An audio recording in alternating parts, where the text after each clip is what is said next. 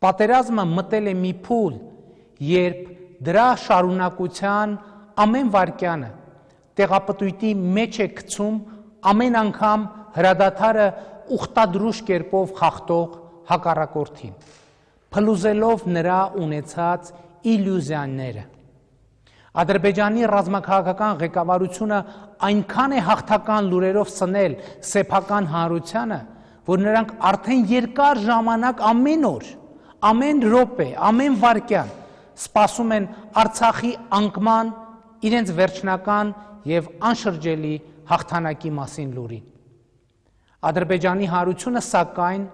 այդ լուրը չի ստանալու։ Ադրբեջանի հարություն այդ լուրը չի ստանալու։ Եվ այս լուրի անverջ սպասումն է, որ քանդելու է Արցախը նվաճելու ադրբեջանական պլանները։ Արցախի ժողովուրդը, հայ ժողովուրդը, ամբողջ հայությունը կռվելու է անմնացորդ։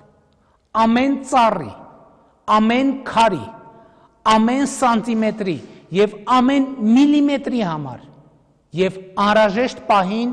ճշգրիտ հասցված հակահարվածը հակառակորդի համար կործանարար փլուզման էֆեկտ է ունենալու։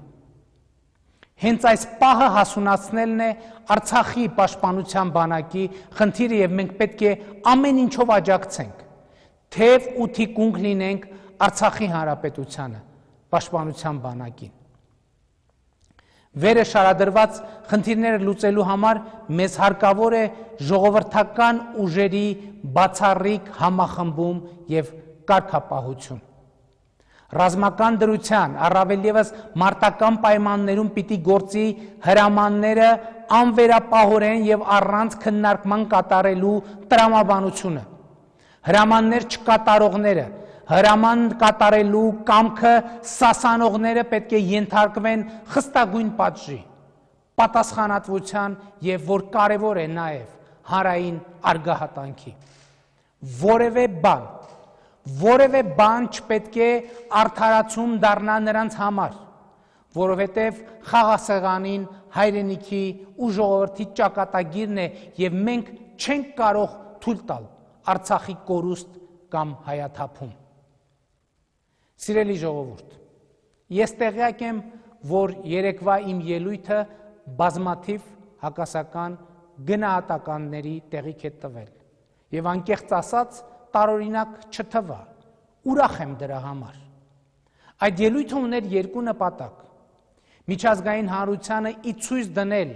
հայկական կողմերի կառուցողականությունը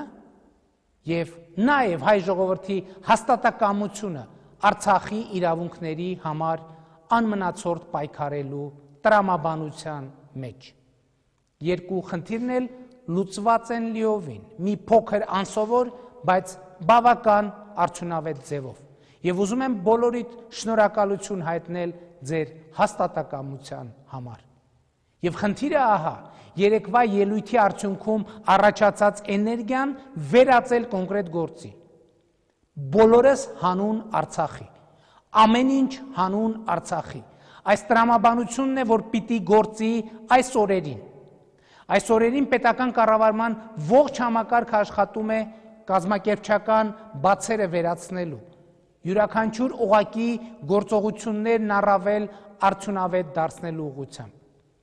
Մեր հնարավորությունները անսահմանափակ չեն, բայց Արցախի պաշտպանության բանակը ունի բանակ բավարար չափով զենք եւ պոտենցիալ իր առաջ դրված խնդիրները լուծելու համար։